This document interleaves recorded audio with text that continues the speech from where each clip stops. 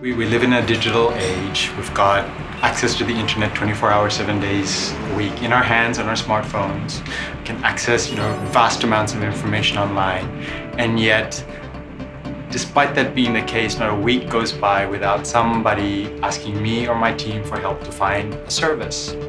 Whether it's a health service or whether it is a, a place where they can get legal assistance or counseling or just assistance in feeling not isolated. Um, we get these requests every week. And so there, there's this disconnect between being connected in this digital age, but people still not being able to find the services that they need in order to live healthy lives or be happy or, or be connected with their friends. And we think that there's something, there's something that we haven't really fixed despite having all this technology around us.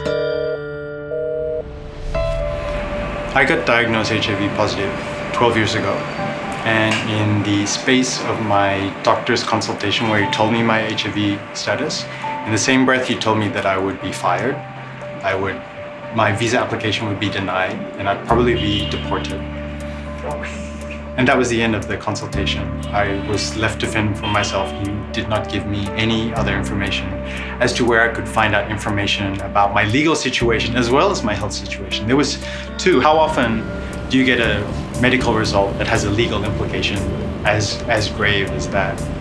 So I had to then go and find the information myself, and it was incredibly difficult.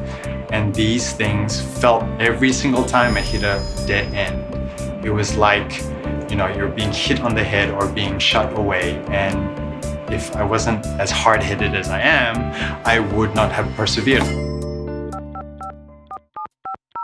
So B-Change is a social enterprise. Uh, we are on a mission to promote social change through technology.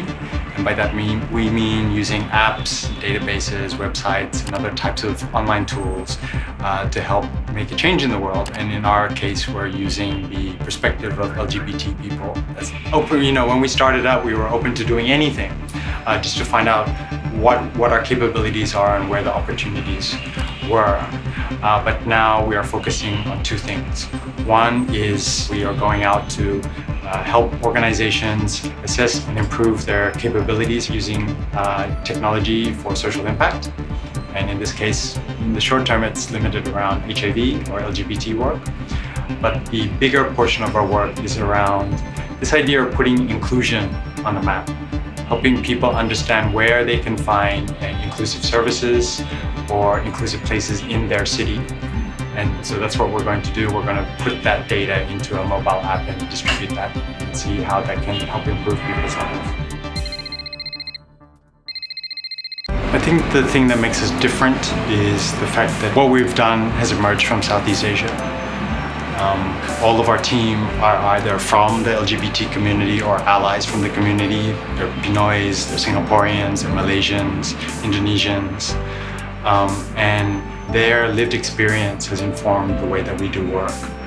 And I think that that will be seen, at least globally, as something refreshing from what comes out of the Bay Area and Silicon Valley. I'm not saying that we're better or worse. I'm saying we've got something new to share. And, uh, and even more that it's some, something that has been informed by people from the LGBT community in this region as well. So what I'm asking for is not that the world be just LGBT friendly or inclusive of LGBT because to me that's limiting. We're using LGBT as a perspective, a, a, a litmus test. My, my assumption is that if we can encourage more people to be inclusive of LGBT, then that will be a stepping stone to being more inclusive of people with disabilities, uh, people of different ages, of people of different ethnicities, of different faiths. The whole point is that we want these values of inclusion, of opening our communities, our homes, our workplaces, the places that we socialize to everyone because we've only got one home. We've got to learn how to share it.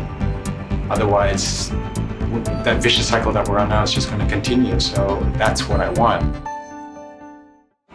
My name is Laurindo Garcia and I am an Ashoka Fellow.